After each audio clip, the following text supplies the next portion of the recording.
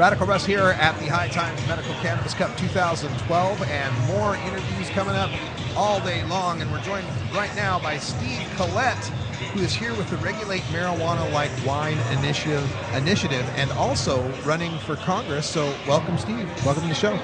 Hi, thank you for having me here. All right, so uh, let's talk about this because we were just before we went on. You you had mentioned how uh, you are running for Congress and this district of yours. First of all, who's representing the district right now? Uh, Henry Waxman is. Okay, so it's Henry Waxman's district, and are, are you running uh, with against Henry Waxman in uh, primaries? I would assume. Yeah, there's a it's a top two primary race, Okay. and uh, I'm a libertarian candidate. Oh, okay. Oh, okay. So the, with top two, it's uh, irrespective of party. Then. Yes. Okay. Okay. So that okay. So uh, running for Congress, but you kind of explained how uh, you were mentioning how part of why you wanted to run for Congress had to do with this very issue, you know, regulating marijuana like wine. So tell us a little bit about that. Well, I worked on uh, Proposition 19, Oh yes. and if you recall, at the very end, the Attorney General of the United States, Eric Holder, came out and said that he was going to enforce marijuana laws no matter what. Right.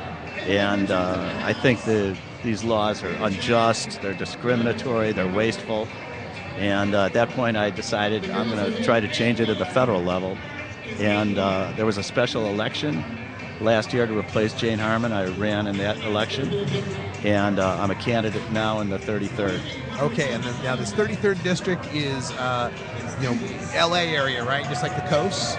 Yeah, it uh, it it starts at Palos Verdes, comes up the coast, Redondo, Manhattan, Hermosa Beach, uh, El Segundo, Santa Monica, Marina Del Rey, uh, Malibu, all the way to the border of Ventura, and then goes up Calabasas, includes the UCLA area. Okay.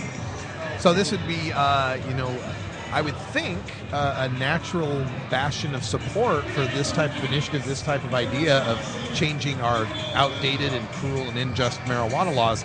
Are you finding that true when you talk to the people of the district?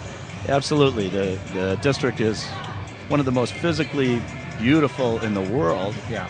and uh, and the people are very freedom oriented. Uh, and, and that's that's that's great. And, and with regulate marijuana like wine, we just did an interview recently uh, with Stephen Downing, and he was mentioning the fantastic support you were seeing in the latest polling, like 62% support. Uh, tell us about that, the growing support for this initiative, and how you're going to use that moving forward. Because I know time is of the essence this point, at this point. Yeah, Stephen Downing is a hero. He's a was a former deputy chief of police for LA who's come out and courageously said these drug laws are a failure and they're unjust and they're wasteful. And uh, so we went out to get get a poll to see what the reaction was, and we got 62% supported us, 35% opposed, 3% unsure. And when we gave some negative facts after after telling them about our initiative, facts that aren't even true, you know, the, the gateway drug concept, Sure. uh, things like that, and gave them facts, it it withheld at 56%. It's a very solid group of supporters. So Reefer Madness was only able to sway like six percent of, Yeah, the- right. of the support. No, it's very it's a it's a de- very declining portion of the population. We get closer and closer. If we can get it on the ballot, we're going to win this year. All right, folks, the, the website address is regulatemarijuanalikewine.com if you want to get more information. And uh, also, uh, elect Collett for Congress, elect Collett, C O L L E T T dot com for more information on that.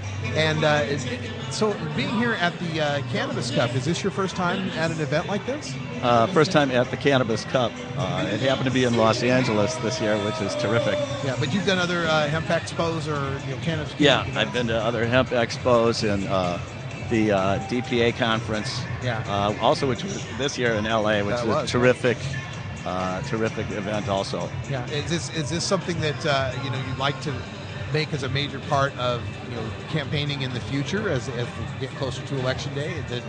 Because I know that, for example, you mentioned uh, well, I was doing a previous interview where you mentioned Governor Gary Johnson, and I, I thought it was noteworthy that here he is running for president. He's showing up at the Hemp Fest and such, and maybe some people would say.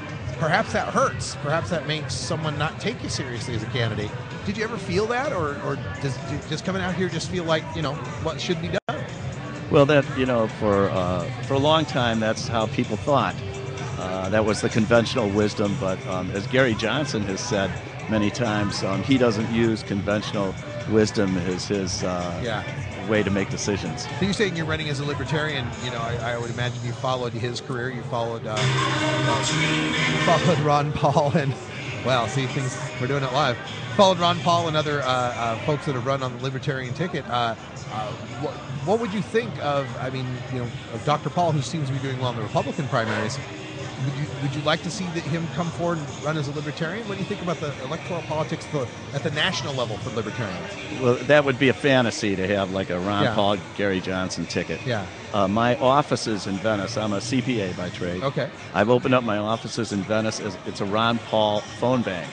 Now, Gary Johnson is my number one guy, but we're, we're shocking people because we have signs on the building that say Ron Paul for president and say Gary Johnson for president. Yeah. So I support both of them. I know Gary Johnson supports Ron Paul, Yeah. and uh, I'm doing what I can to help the Ron Paul people. Uh, but my hero for the uh, uh, libertarian is the her- libertarian candidate, Gary Johnson. Right on. All right. Well, uh, I'm so glad to have you here, Steve Collett, who's running for Congress. It was 36th, 33rd. 33rd, 33rd district here uh, in uh, California. ElectCollett.com, C O L L E T T. But also, and and importantly for what we're doing here, regulate marijuana like wine. Regulate marijuana like wine. You can get there at regulatemarijuanalikewine.com. Thanks for joining us, Steve Collett. Appreciate you being here on NORML Show Live. Thank you. All right. We'll be back with more interviews, more coverage here of the High Times Medical Cannabis Cup. Stick around.